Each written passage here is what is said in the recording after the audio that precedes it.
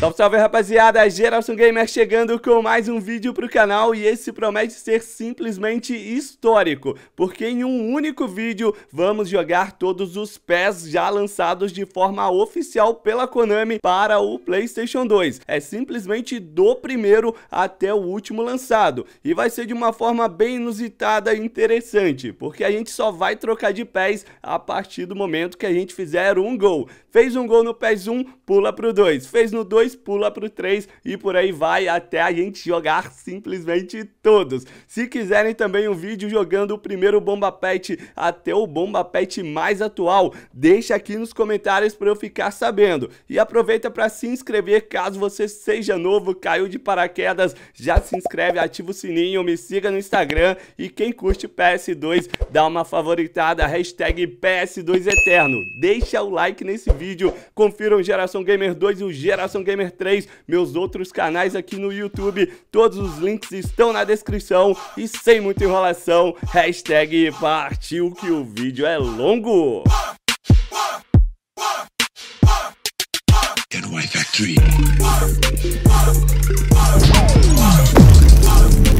Pro Evolution Soccer e se liga então, já estamos aqui no primeiro PES de todos lançados oficialmente para PS2, o PES 1 lançado em 2001, cara. Já tinha, é claro, o modo Master League, modo Copa e tudo mais, só não tinha o rumo ao estrelato. E no menu de seleção dos times e seleções era idêntico ao PES 2002, lançado para PS1, que era no rumo, né, da Copa do Mundo de 2002. Brasil era muito apelão e a França nem se fala, olha só. Esperamos presenciar um bom partido amistoso.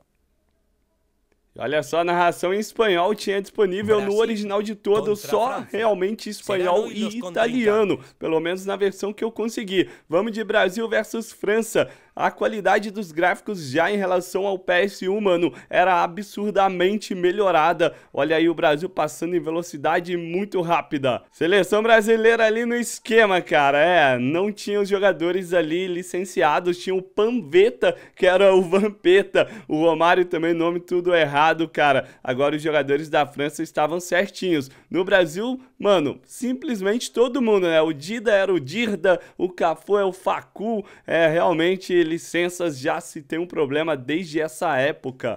Só bora, hein, mano, ó, gameplay aqui era muito rápida, movimento bem parecido com o PS1, né? Os caras se movimentam realmente de uma forma acelerada e não tinha muito a ver, né, com a realidade dos jogos atuais que tem a cadência, né? São bem mais lentos, mesmo você colocando o menu ali em velocidade máxima. Olha o Panveta, o nosso Vampeta. O Brasil era forte porque era a seleção que estava indo para a Copa e atual vice-campeã, né, de 98. Aí o Roberto Carlos, Roberto Larcos aqui. Ele era apelão demais, cara, na versão de PS1 e também nessa de PS2 tinha um chute mais forte do jogo, a maior velocidade possível e realmente ficava muito apelão, principalmente com a galera que colocava ele ali no ataque, mano. Olha aí Roberto Carlos de atacante, já pega a primeira, já parte pra cima, é muito apelão, vem bomba! Ele é canhoto, né? Mesmo chutando na direita ali, chute sai forte. Primeiro tempo acabou, a gente ainda não fez 1 a 0 bora meter o gol, cara, pra passar pro PES 2.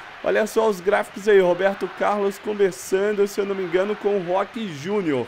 Recupera, vamos Brasa, tem opção ali na frente. Aí agora Rivaldo dele pro Juninho. Limpou, tentou, abriu lá no Facu, o nosso Cafu. Adianta ela pro Roberto Carlos. Agora, puxa, vai mano, apelão, apelão, solta a pedrada. É muito forte o chute dele. Mas tinha esse porém, né? A direção era muito complicada de você acertar. Mesmo a gente dando a parada, ó, o Roberto Carlos chutava bem torto.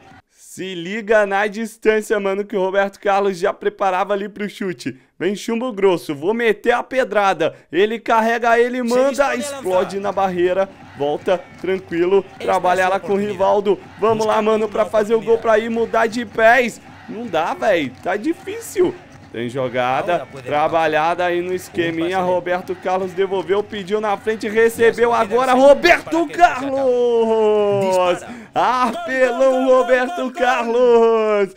Fizemos o gol aí, moleque. Olha só a comemoração cutscene aí do primeiro PES de todos. Lembrando que antes tinha o Indeleven e antes ainda no Super Nintendo o International Superstar Soccer. Galera que já jogou também, deixa aí nos comentários. Agora, cumprindo o que a gente prometeu, fizemos um gol. Bora pro PES 2. Pro Evolution Soccer 2. Menu inicial já tirando a música aqui também, ó, dá uma ligada. Era bem simplesão, né? Assim como no PES 1. Tinha o modo Master League e tudo mais e não tinha ainda o rumo estralato, que aliás foi só lançado no PES de 2009. Ah, isso aqui era maneiro, velho. Escolhi aqui os times e não seleções dessa vez. Tinha o Vasco da Gama, tinha alguns outros times brasileiros, como o São Paulo, só que aqui tá com nome genérico. Olha só o menu inicial, mano, as cutscenes de entrada aí para um jogo entre Real Madrid e Vasco da Gama, que para quem não sabe, foi um duelo aí de semifinais, né, do Mundial de 2000, cara, onde o Corinthians venceu o Vasco na disputa de pênaltis.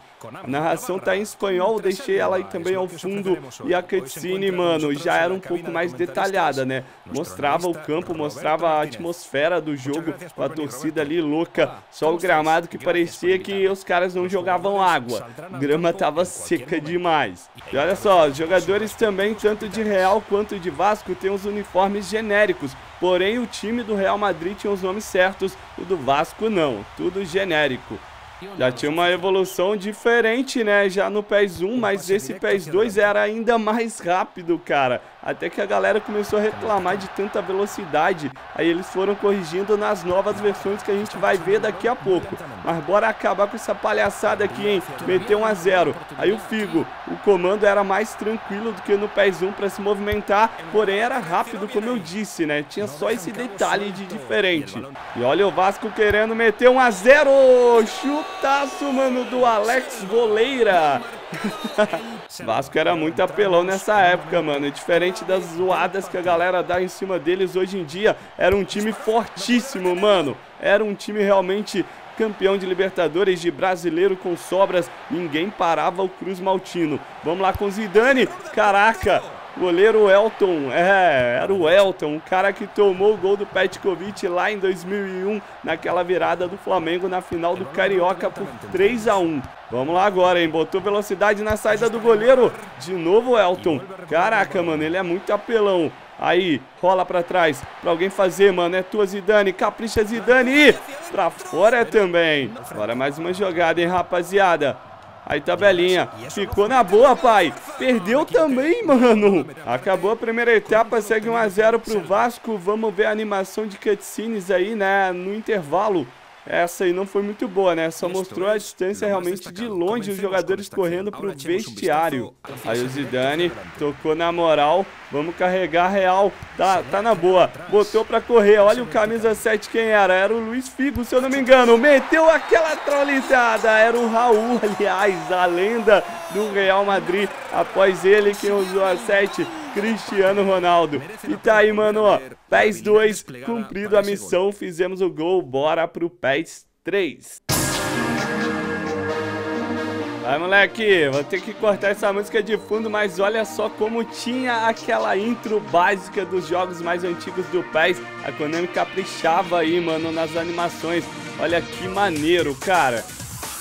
Pro Evolution Soccer 3. Menu inicial já era bem diferente aí das duas outras versões, né? Tinha a animação de fundo ali, ó, e tinha uns detalhes vamos dizer assim, mais tecnológicos, mas ainda não eram grandes coisas para ser sincero. Narração segue em espanhol, tinha outras opções a mais, mas ainda não tinha a brasileira. E a animação também de entrada dos times já eram muito mais evoluída aí no PES 3. Vamos jogar com a Argentina contra a seleção alemã. Olha só os detalhes do campo, molecada. As bandeiras, assim como era tradição desde a época do PS1, aparecem aí também com os carregadores e daqui a pouco toca o hino e tudo mais. Time da Argentina parece estar licenciado, esse aí é o Veron, capitão daquela seleção. E a Alemanha tinha o Balak, se eu não me engano, o melhor jogador deles da época. Só que pelas faces dá pra ver, né? Não tinha muita coisa bem feita. Era quase tudo genérico realmente, com detalhes aí para um ou outro jogador. Aí o Oliver Kahn, goleiro alemão, aquele mesmo que tomou 2 a 0 do Brasil na final de 2002. Ronaldo meteu dois para cima dele, cara zoava pra caramba, achava que tava ganho e ele foi eleito realmente o melhor jogador daquela Copa. Sempre que a gente está jogando, estamos colocando uma câmera mais longa e eu não sei se vocês estão percebendo a diferença, mas os gráficos já estavam muito mais polidos. E eu estou percebendo aqui também pela gameplay, né? O movimento de jogabilidade era muito mais rápido a resposta. No PES 1, cara, você tinha que virar, às vezes bugava, às vezes nem virava, mas aqui no PES 3 eles já tinham evoluído pra caramba. Daqui a pouco a gente vai chegar nos melhores PES da época, da história também, como muitos acreditam ser, inclusive o PES 5 e o PES 6. Aí, mano, vamos meter essa bola aí pro Quiroga. Chegou na linha de fundo, rolou pra trás, é pra fazer, pai. Perdeu, voltou no Veron. Ele toca pro Quiroga. Ô, oh, Quiroga ruim. O Crespo ali, atacante, era muito bom, cara. Falta com o Aymar, vamos meter uma bomba direta pro golaço! Que golaço! Tá achando o que, mano? A gente manja dos pés mais antigos também. Que golaço de falta a gente fez aí com o Aymar, cara. Jogava muita bola também esse meio campista. E olha a traulitada que a gente meteu pra cima do Can, cara. Sem defesa alguma. Bora pro próximo PES, o PES número 4. Também tinha aquela introdução maneira, tinha, mano, uma coisa mais real que a outra era gráficos em CG, né? Não tem nada a ver com a gameplay realmente do jogo, mas essas vinhetas, velho, essas intros aí antes do jogo era nostálgico demais, cara. Pro Evolution Soccer 4.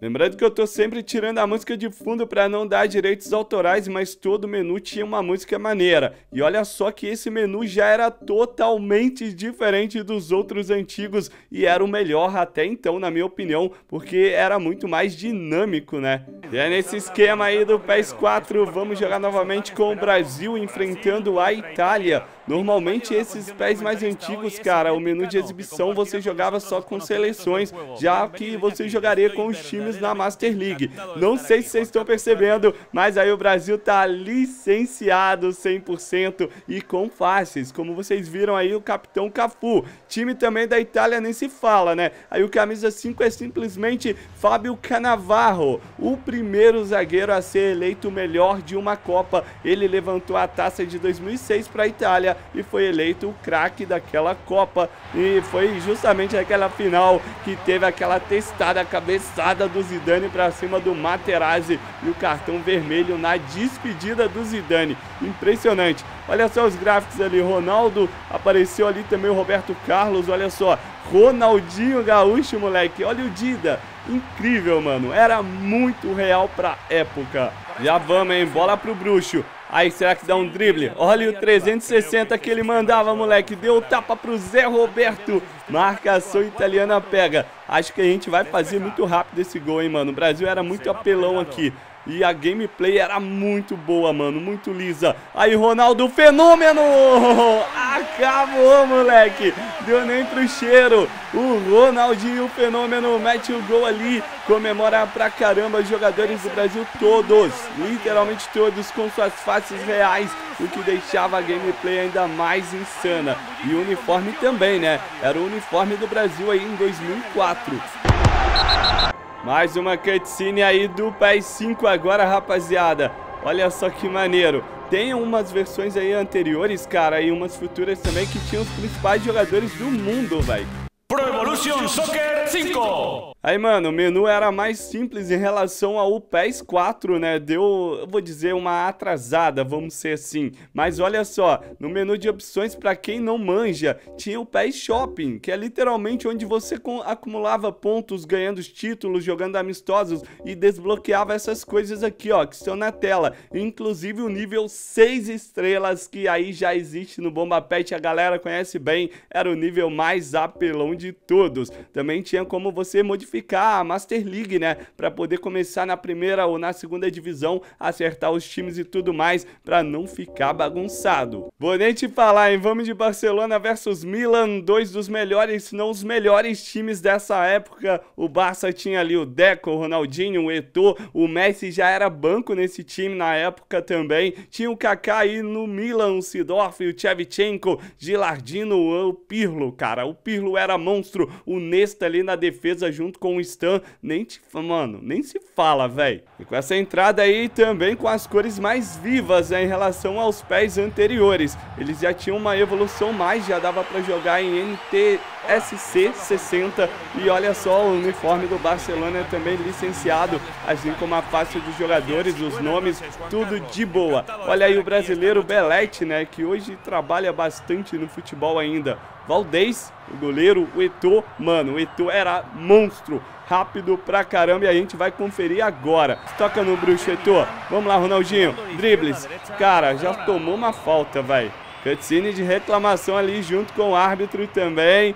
Já uma evolução, tá maneiro, tá tendo um extra campo ou algo fora disso, né? Pra dar aquela atmosfera, principalmente para você jogar uma Master League. Era demais, cara. Olha aí, bola pro Belete. Já vai ganhando. Linha de fundo, cruzamento pro Bruxo. Rolou pro Eto'o. Vai empurrar pra rede de que jeito? Marcação do Milan era boa demais. Aquela defesa apelona do Nesta e do Stan. E olha o Ronaldinho esticando bola no R2, ó. Pra adiantar ela bem mais e chegar na linha de fundo pra rolar pra trás no capricho. Vai, Eto'o! o Eto'o não fechou. Acabou o primeiro tempo, cara, 0 a 0 Tá bem mais difícil que o PES 4. Vamos lá, Ronaldinho. É agora. Nossa, vai chegar, vai chegar, vai chegar na frente. Vamos, Bruxo. Tocou na saída, botou na rede. Ronaldinho Gaúcho. É gol brasileiro, molecada. Olha só a comemoração do Bruxo. 2004 foi eleito o melhor do mundo. 2005 também. Ele tava o quê? Tava voando. Era o mais apelão desse PES 5.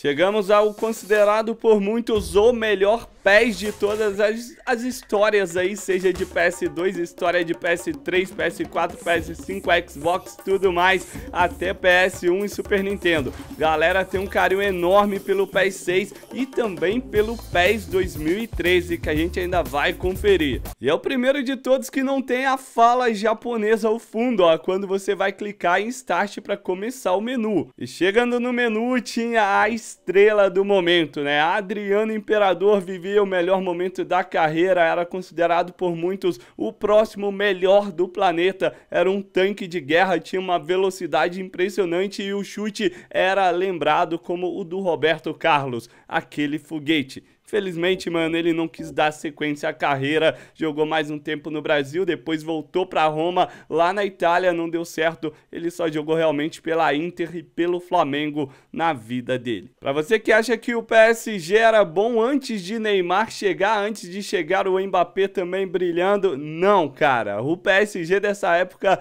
era triste de se ver. Tinha só jogador meia boca e era um time considerado mediano, apesar de ter tido o Ronaldinho Gaúcho antes dele ir para o Barcelona, lá em 2004, 2003.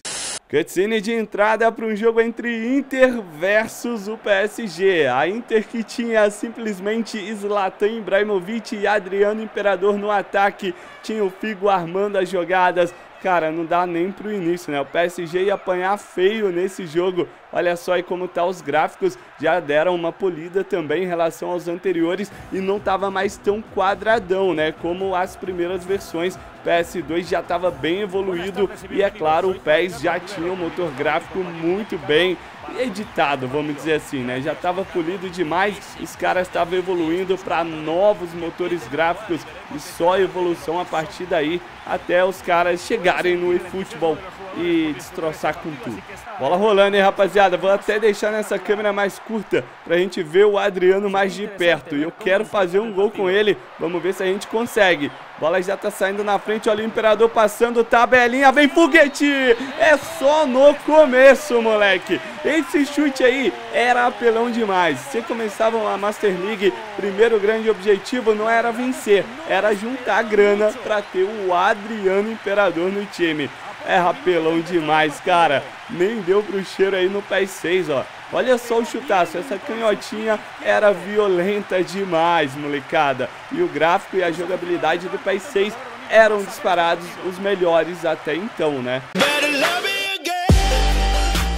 E tá aí um PES que pouquíssimas pessoas conheceram, o PES 2007. E a parada era bem louca, mano, não sei o que acontece, mas o menu é praticamente o mesmo do PES 6. Eu não sei se os caras não quiseram editar, esse PES 2007 não saiu muito aqui Gramado que era feio, né, velho? É feio demais. Pelo menos esse tipo de gramado tinha no PES 5, tinha no PES 6, seguiu no PES 7 era algo horroroso. Parece que os caras passaram um trator ali, ó, e não cortaram a grama direito no meio. Bizarro. Vamos fazer um gol pra sair desse PES rápido. Vai lá, mano. Acaba com essa parada.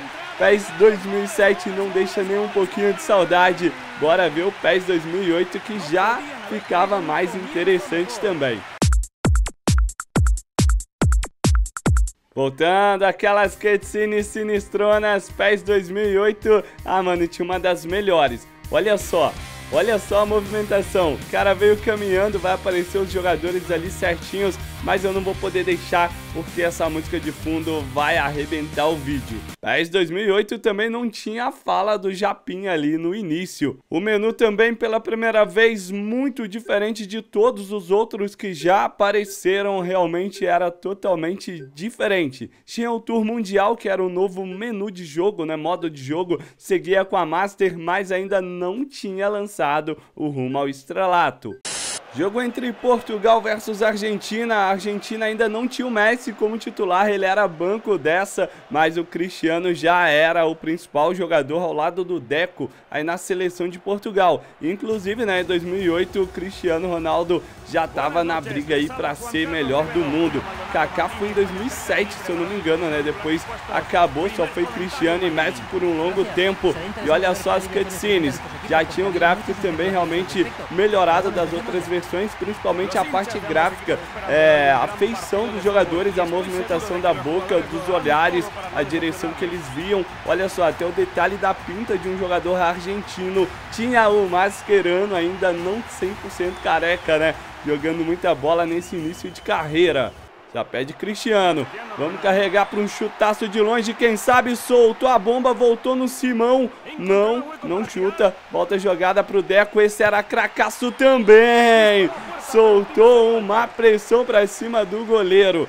Não sei se vocês estão conseguindo ouvir, mas a torcida gritando Argentina, Argentina. Nessa época a Konami começava a dar mais detalhes para o extra-campo, principalmente pelos cantos das torcidas, né? Tinha várias torcidas ali com cantos diferentes, não era só um som genérico para ambos as equipes e qualquer tipo de jogo. Vamos lá, Cristiano, capricha agora. Hum, essa canhota ainda era ruim. Olha o rostinho aí do Cristiano. Novinho, novinho, cara. Começando a brilhar no futebol. E a Argentina vai fazer o gol, mano. Meti um carrinho ali, quase que eu fiz o pênalti. Acaba o primeiro tempo, o gramado também já estava muito melhor, né, do que aquele gramado que eu falei que parecia mais um arado, bem esquisito, bem estranho. E olha só, os jogadores conversando era uma coisa já mais é, criada com detalhes, né, não era só os jogadores indo em linha reta pro vestiário, eles já tinham uma interação entre eles. Aí o robozão, vai Cristiano Ronaldo, acelerando, gastando energia, indo até a linha de fundo, segurando no R2, fintando cantando todo mundo metendo um golaço! Um golaço que a gente mete aqui no PS2, no PES 2008. Cristiano Ronaldo com 22 anos de idade, mano. Ele tinha que meter esse gol. Olha que os caras ainda já criaram né, a face para ele, mas ainda não tinha tantos detalhes que parece que não imaginavam que ele seria um super craque. 2008, último ano, né? Depois ele foi pro Real Madrid e teve aquela história linda que todo mundo conhece.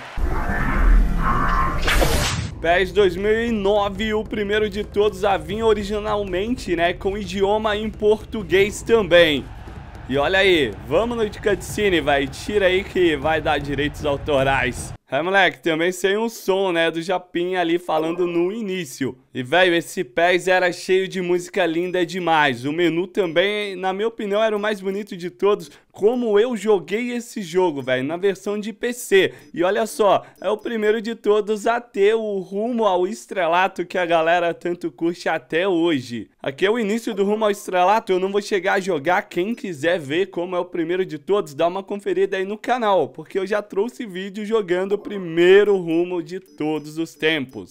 Simplesmente no Barcelona do PES 2009 tinha Messi, tinha Henry, Henry e Eto'o no ataque. Era bizarro como os caras eram fora de série. E na verdade o PES 2009 ainda tinha o Cristiano no Arsenal, no Manchester United. Ele não tá no Real Madrid, pelo menos ali no time titular. E rapaziada, nessas entradas, vocês vendo aí o Messi ainda com o cabelo comprido, dá pra gente já ter uma ideia como a Konami começou a ficar preguiçosa. Simplesmente as entradas eram idênticas às versões anteriores. Eles não criaram uma animação diferente, um clima para os jogadores. Isso foi muito detalhado no PES 2013. Tinha o cara dando um pulinho lá no início e tal, mas nessas versões aí, digo do PES 2003 até o 2009, praticamente era a mesma coisa. E também tínhamos a questão, né, do PS2 já tá bem limitado pra época. No PS 2009 já tava bombando o PS3, Xbox 360. Aí a Konami meio que não ligava tanto para as versões de PS2, né? Fizeram até o PES 2014. E aqui a gente já mete esse golaço com Samuel Eto'o, o camaronês mete bola na rede.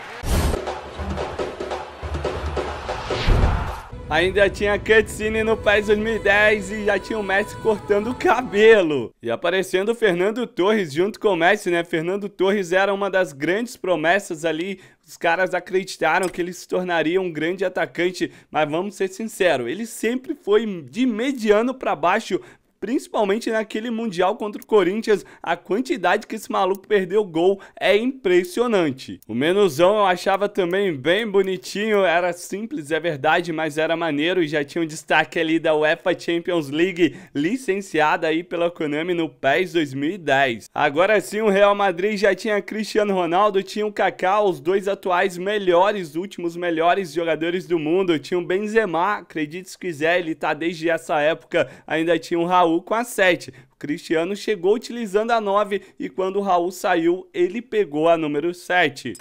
Aí, mano, ó, Juve versus Real Madrid não dá pra ir com vários times diferentes pelo grande fato que a maioria dos times dessa época, desde os primeiros pés, eles não tinham toda, total licença. E também não dá pra ver o que acontece porque os caras botam a música da Champions de fundo, também dá direitos autorais.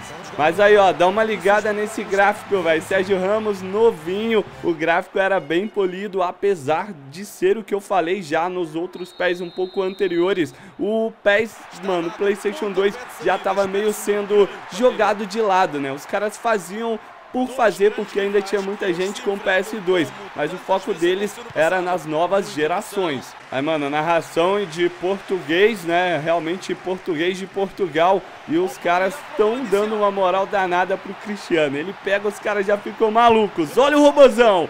Traca aí, o Gianluigi Buffon pegando essa. Xavi Alonso dominando ali o meio campo, né? Benzema pro Raul, olha só o Kaká jogando mais pela esquerda, Cristiano mais pela direita. Kaká invade a área, os caras também botaram ele bem apelão nesse pés, cara.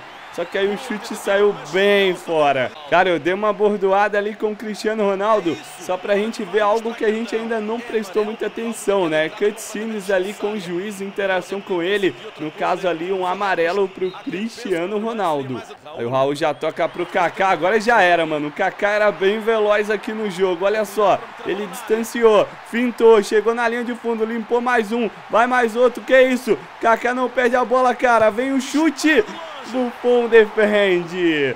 Vem bola aí pro Cristiano, não deixa ela sair, domina e vem. Rabisca pro meio, aquela jogadinha apelona do PS2. Bola colocada de canhota. E olha só a face do Cristiano, como evoluiu daquela primeira que a gente tinha conferido, cara. Tá impressionante. Isso aqui é PS2, cara. Estamos jogando, é claro, com gráficos de 4K pra gente tirar o máximo que nem existia no PS2, mas a gente consegue botar aqui pra vocês. Mais cutscene aí também de intros que depois foram cortadas ao longo do tempo. Estamos aqui no PES 2011 e é o primeiro que tinha português do Brasil aí nas opções. E vocês sabem por que já tinha português do Brasil logo de cara? Justamente por isso, ó. A Champions já estava licenciada há algum tempo, eles seguiram com ela, mas aqui temos a Libertadores da América. Finalmente, né, a Konami olhando para os times sul-americanos. Se liga nos times brasileiros que tinham nessa época classificados: Flamengo, Inter, Corinthians, São Paulo e o Cru Cruzeirão Cabuloso. Olha só os times, hein, de Flamengo e Corinthians, velho. O Corinthians tinha o Ronaldo Fenômeno, tinha o Dentinho. Flamengo ainda tinha o Petkovic, já bem veterano em fim de carreira. Tinha o Kleberson, um dos campeões de 2002 da Copa do Mundo. E o Leonardo Moura, o Ronaldo Angelim, que fez o gol do Hexa do Mengão em 2009. Corinthians não era só o Ronaldo, também tinha o Roberto Carlos, também fim de carreira. Infelizmente ele acabou saindo do Corinthians de uma forma bem pela porta dos fundos, né? A torcida começou a ficar pistola com ele, o ambiente não ficou bom. Olha só um amistoso aí de Libertadores para ver a animação dos jogadores. Tinha os times brasileiros, porém não tinha as faces criadas. É, a Konami ainda não era 100% focada nos times da América do Sul. Só que olha só essa narração de fundo do Silvio Luiz lá, mano, lá vindo de cara, narração brasileira aí pro jogo. Aí o uniforme do Flamengo achei um dos mais bonitos, né? Depois do Hexa de 2009, foi o mais bonito, cara. E ó o Borra, como o Flamengo era ruim, velho. Dos times de hoje em dia, você vê o Super Flamengo lá, fica pistola. Imagina nessa época, eu que sou torcedor desde que nasci, velho. Petkovic manda, a bola desvia na marcação corintiana e morre lá no fundo da rede, cara. Olha aí, Petkovic não tinha 43 que ele sempre usava, tava aqui com a número 7, mas mano, a Konami já dava detalhes que ia pegar pesado, né? Iria investir nos times sul-americanos, que esse mercado dava muita grana para eles. Lá na Europa a galera já estava mais focada no FIFA do que no PES. Aí, moleque, ó, animação do Cristiano Ronaldo cobrando falta. Estamos já no PES 2012, que também era incrível. E é um dos poucos PES, aliás, se eu não me engano, é o único que tem Mundial de Clubes. Tem a Libertadores, tem a Champions e tem o Mundial de Clubes na Master League. Menuzinho aqui naquele segmento do anterior, que de certa forma era muito bom, né? Achei bem bonito também, um dos mais bem detalhados e mais evoluídos menus da época. E como eu falei, né? Champions League e Libertadores seguiam no foco, já tinha, claro, rumo ao estralato desde o PES 2009 também. Ganso e Neymar Júnior no Santos, a gente vai para um amistoso de Libertadores contra o Cruzeiro. Aí você já vê, né? Já tinha o PH Ganso jogando muita bola, sendo um dos favoritos a brilhar no futuro Felizmente ele nunca fez isso de certa forma, mas o Neymar já estava na sua reta final aí pelo futebol brasileiro. E o time do Cruzeiro era simplesmente um dos mais apelões da época, venceu dois brasileiros seguidos. Olha aí o Ganso, mano, olha o Neymar, os dois novinhos ali no time do Santos. Neymar já pede essa, o Keirson toca para ele, olha a velocidade e a movimentação, mano. Era muito fácil de comandar o Neymar, era apelão demais. Ó, ele já vai se movimentando, sempre tem ele para receber um passe, recebeu esse, vamos lá para fuzilar, bateu por cima. E olha o gráfico, cara, o moicano, o moicano do menino Ney, ele tirava onda, velho. Galera toda molecada repetia, copiava esse penteado, era uma febre, mano, insana. O Ganso tá com ela, deu muitos passes pro Neymar fazer gol, hein? Esse pode ser um desses. Vai lá, Neymar! Bateu, guardou! A gente tinha que fazer um gol com o menino Ney. Será que vai ter dancinha, vai? Teve só comemoração aí com a galera. O Ganso chegou, deu aquela abraçada de leve. Os caras se entendiam dentro dos gramados. No PES 2012 era a mesma coisa. Aí já começou a preguiça da Konami, né? Não tinha aquela intro como tinha em vários outros anteriores, mas esse é considerado o melhor PES da história. O famoso PES com a música do Michel Teló, Ai Se Eu Te Pego, quem não ouviu essa música um trilhão de vezes está de caô. E vocês podem ver como o Neymar era a sensação mundial, que o PES 2013 tinha ele na capa, cara, e ele no menu também, como vocês estão vendo ali ao fundo, na sua última temporada pelo Santos. Estamos em mais um amistoso agora já no PES 2013, jogando com o Vasco contra o time do Flamengo. Eram duas equipes que estavam aí na Libertadores. O Vasco foi uma das últimas que eles disputaram e eles foram longe, se eu não me engano, né? Teve uma aí que foi semifinal contra o Corinthians. Olha só o time do Flamengo. Wagner, Love e, caras, o Bruxo, Ronaldinho Gaúcho, tava aqui no time do Flamengo. O Vasco tinha o Alessandro, Alexandro ali no ataque, o irmão do Richarlison, que jogou bola no São Paulo e hoje comenta os jogos do na Globo, né? E os jogadores ali, ó, Ronaldinho Gaúcho no time do Flamengo, você já consegue perceber que não tinha evolução gráfica mais, né? A Konami não tava pegando mais nada pro PS2, porque tinha a nova geração, eles focavam nela e deixavam só por fazer, só atualizava realmente os jogos pro PS2. Esse aí foi o penúltimo a ser lançado. Aí o Diego Souza, hein, mano, aquele mesmo que se despediu há pouco tempo aí do time do Grêmio, ele que perdeu o gol na cara com o Cássio nas semifinais da Libertadores e a torcida vascaína não esquece isso até hoje. Olha o Éder Luiz, cara, era muito veloz, o cara tinha os dentes separados e ele era o destaque, né, mano? Você lembrava dele sempre por isso e pela velocidade que ele tinha. Defesa do Flamengo não era muito boa não, hein? Olha só a jogada, Juninho Pernambucano chutava muito! Thiago Feltre recebe ali do Diego Souza, solta a pedrada. De novo Felipe, goleiro do Flamengo e ex-goleiro do Corinthians naquela época. Mais uma jogada manjada, hein? Olha o tapa, Éder Luiz bate, rebate, Alexandro perdeu. Meu pai sagrado em cima do goleiro do Flamengo. Alexandro girou, bateu bonito, botou na rede. A movimentação da rede era detalhada, melhor do que as de hoje em dia, que não se movem. Parece que você está chutando numa pedra. E olha só, mano, com neve ali também ficou bem bonito.